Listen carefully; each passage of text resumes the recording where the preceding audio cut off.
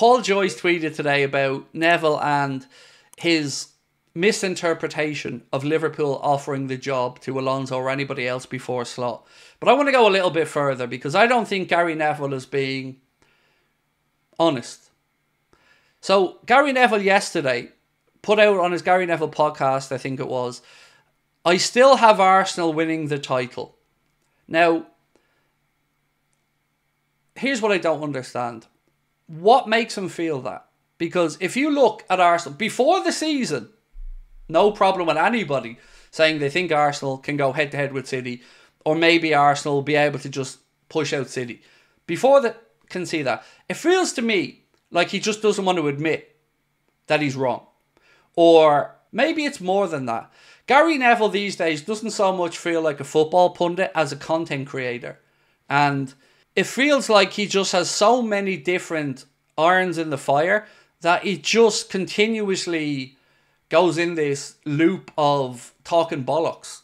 And he is. Like, let's be honest about this. How on earth can anybody, with what we've seen this season, feel that Arsenal are the favourites? Now, nobody's saying Arsenal won't be there or thereabouts, but to still be digging that hole, saying Arsenal are the favourites, based off what? Based off what exactly? Couldn't beat us at their gaff. We're beaten again. I've dropped points. If this weekend it could go tits up for them completely because they're playing Chelsea, not an easy game. If they drew that and we beat Villa, that's a ten, that's a sorry, that'll be a nine point gap already. I just don't understand. It feels like it's bait, and it feels like it feels weird because why is he so complimentary and up Arsenal's arse? Like the whole thing just feels contrived and insincere to me. Gary said Manu will finish above us. Gary's a clown.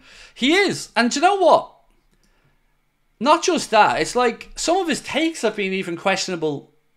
Like Liverpool's midfield is clearly worse than United's. Based off what? Based off what?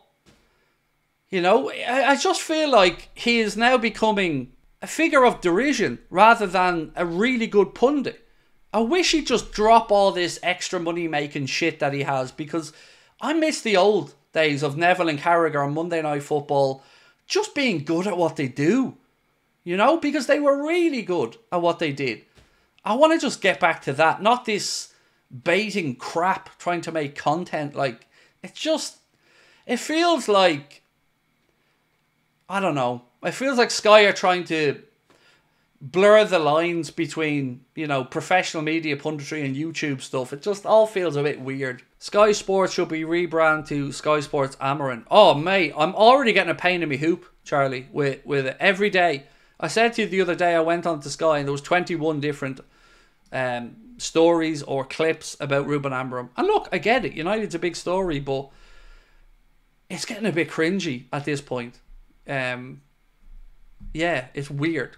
They did it. They do it all the time because look, Sky gets click or excuse me, United gets clicks. I get it. I'll never get surprised at seeing how United centric Sky are, and I really feel that they are go they go over the top in their coverage. Uh, Joseph said, "I'm okay with Neville being a pundit. Naturally, there's going to be some bias there, but for God's sake, get him off our games." I I could live with that, Joseph, because I really, you know, I've been critical of Gary Neville quite a bit, but I agree he can be a very very good pundit. He just needs to. It just feels like every time I turn around, I'm being met with a Gary Neville podcast, an overlap podcast, a Gary Neville soundbite. It just feels like we can't get away from him. That's probably fine for most fan bases, but for us, it feels like he's gone out of his way to be underhanded in everything. Like, how can Sky sit? Do you know what? Actually, I want to speak about something else in a second, but how can they sit there and have him calling our players cheaters? Like, how, where's the lack of bias in that? Or talking about simulation? And he doesn't do it elsewhere. Nowhere near as much. And do you know what got me the other day? There was an incident in which game was it? I think it was the United penalty. I might be wrong, but I think it was the United penalty. And they brought Mike Dean in.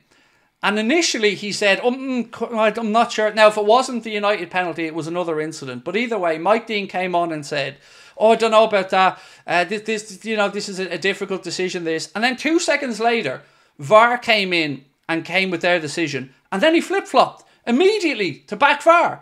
And I was sitting here going, did I just hear that right? This absolute spanner has come on, given an opinion, and then changed that opinion instantaneously to agree with that and said, oh, yeah, nailed on, right decision. Like, they've just got no fucking integrity, any of them. Like, how do you go about giving Mike Dean a job? Can you answer that for me? Because he's supposed to be there explaining the virtues of refereeing when he's also there admitting he didn't do his fucking job. I don't get like the hypocrisy of Sky is never ending. Do the right thing, like kick out racism, you know, make football all inclusive and all the right stuff. Yeah, fair enough. That's all brilliant and we all agree with it.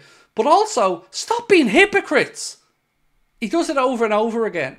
Over and over again, I'm listening to this absolute gumbean talking about uh, his opinion. Like you don't, you've no credibility, zero. You admitted you didn't do your job. You should have been fucking fined and sacked, not given another cushy job. Uh, Bruno Fernandes is the biggest diver on the planet, but Neville never jumps on his back. I know it's mad.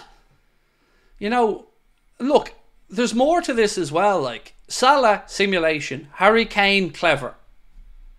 I don't need to tell you what the context or the subtext is there. But Harry Kane simulation, clever, good boy. Mohamed Salah, bad boy. Bad boy. Bad mo. Cheating, simulation. Why is that? Uh, David, and thank you, David, for your very, very kind super chat, mate. Appreciate you. Said Craig, what I don't understand, bro, is how Sky Sports and all the pundits are shocked if we win the Premier League when we have players that have won the lot. We keep being underestimated in this respect to David, in my opinion, by a lot of the uh, Sky media.